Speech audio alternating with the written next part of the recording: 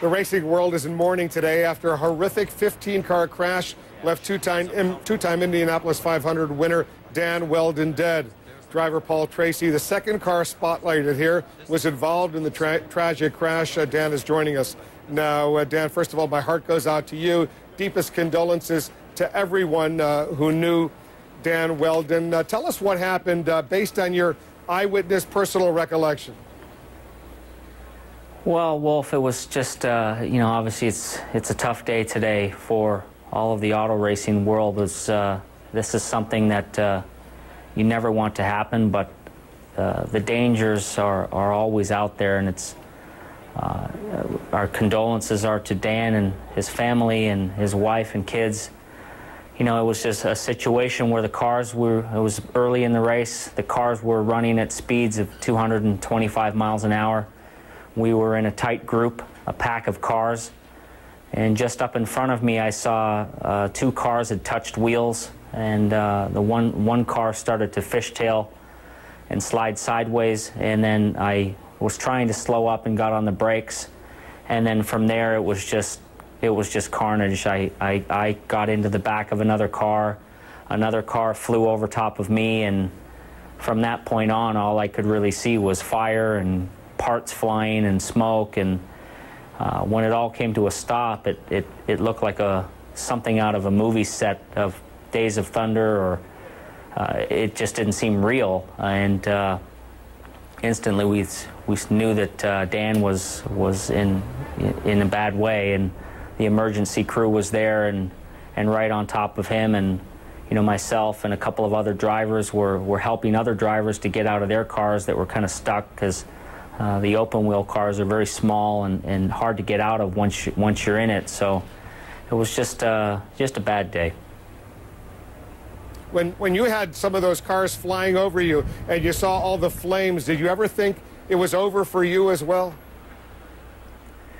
Well, I mean, it's, you, you never think of that, uh, that thing. Uh, obviously, when you sit back and, and look at it now, I mean, you know, I've had a long career. I've been racing uh, over 20 years now in, in Indy cars, and uh, my wife has just said to me last night, I mean, you, you, got enough trophies and we have enough money. Is do we really need to do this anymore? And after seeing one of your friends die and and you know knowing the family and you know that's uh, that's the question mark that I have to answer for myself. And you know obviously Dan's legacy as a champion and an Indy 500 champion twice.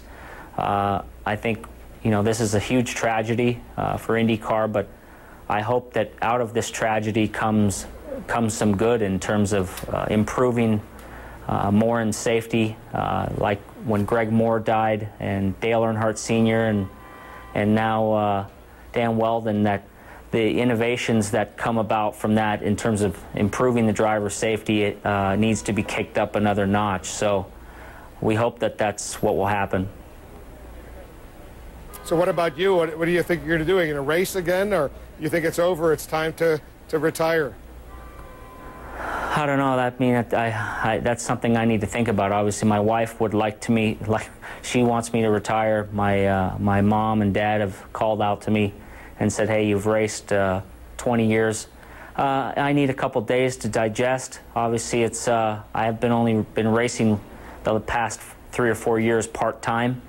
Um, I've kind of been been there, seen it all, done it all, and uh, what happened on Sunday was not a great thing that uh, that I want to see. It's the first time I've seen that firsthand in my career, and not something I want to see again. But you know, ultimately, as a race driver, you know what the risks are when you go out there. It's you know, Mario Andretti said to the drivers yesterday, "Look, if you think this is uh, this business you got into is safe, then." You're in the wrong sport. We, we know what the risks are. We know that there's danger. Uh, we're all thrill seekers at heart. We all take risks on the racetrack. We, you know, this sport isn't for everybody. Uh, you know, obviously it's, uh, we'd like to see improvement. I think there can be improvement made uh, in the catch fencing. There's been so much improvement done with safer walls and uh, head and neck restraint systems and the seats and the cars have gotten safer and safer but what has really stayed the same is the catch fencing along the walls has really stayed the same over the past hundred years. And uh, you know, my thoughts are, why can't we have some type of ballistic type of uh, plexiglass or safety glass that would, you know, still allow the fans to see the racetrack, but would keep cars from getting tangled in the in the fencing like a like a web, like a like a spider web. When once the cars get in there, it just starts ripping the cars apart. So, you know, maybe that's the next thing that uh, needs to happen in terms of uh, safety for for race events. As you know, Paul, as, as you know, Paul, uh, the, uh, there's been a lot of questioning now over the past 24 hours whether this track, this racing track in Las Vegas, was really big enough, safe enough, a lot smaller than Indianapolis, as, as you well know. Well, looking back, and all of us are obviously smarter with hindsight, was it safe for the number of cars uh, and the size of this track, given what was going on? Well, I mean, it's hard to say. Obviously, the Las Vegas Motor Speedway is a world-class facility. Uh, I've been a resident of Las Vegas uh, for the past 15 years. I've just recently moved, and I, I saw the track be built. It's a world-class facility. Uh, it's no different than any other racing track around the world. Uh, uh, has the same type of walls, uh, fencing system as any other racetrack, and you know, really, this is just a a factor of, uh, you know, you've got a lot of cars racing in close quarters. Uh, the Indy cars now, we've, we, you know, they've spec the cars to where they want the cars to run a bit more in a pack, like NASCAR. And uh, these cars are not designed really to, to run, bounce, bang wheels with each other at 225 miles an hour.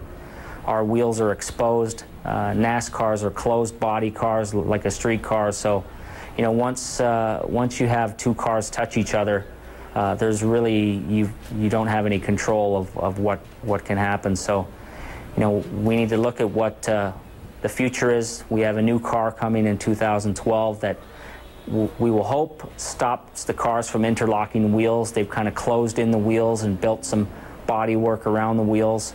Uh, but my concern really now is, uh, you know, the fencing. I think is the problem with with motorsports. You see stock cars uh, fly and get up in the air when they get backwards and they get into the fencing and the cars just kind of get ripped apart.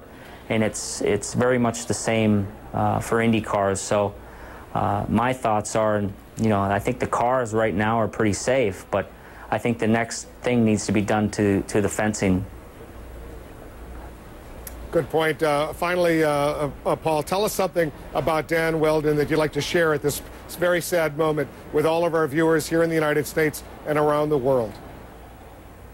Well, Dan was just a guy who loved life. I mean, uh, you know, I've never saw Dan in, in the 10 years that I knew him without a smile on his face, without a twinkle in his eye, uh, whether he had a good day on the racetrack or a bad day you know, this, this season for him was, was only a part-time season. He'd lost his ride, lost his sponsor, and was, you know, around the track trying to find himself a ride, always smiling, always talking to everybody, meeting with the fans, and never upset about it, never bitter about it. Uh, picked himself up an Indy 500 ride this year and won the biggest race in the world. And you know, that's the highest of highs that you can have, and, and yesterday was the lowest of lows. But, you know, what we can remember of Dan is, was a guy who just loved life and loved being a race driver.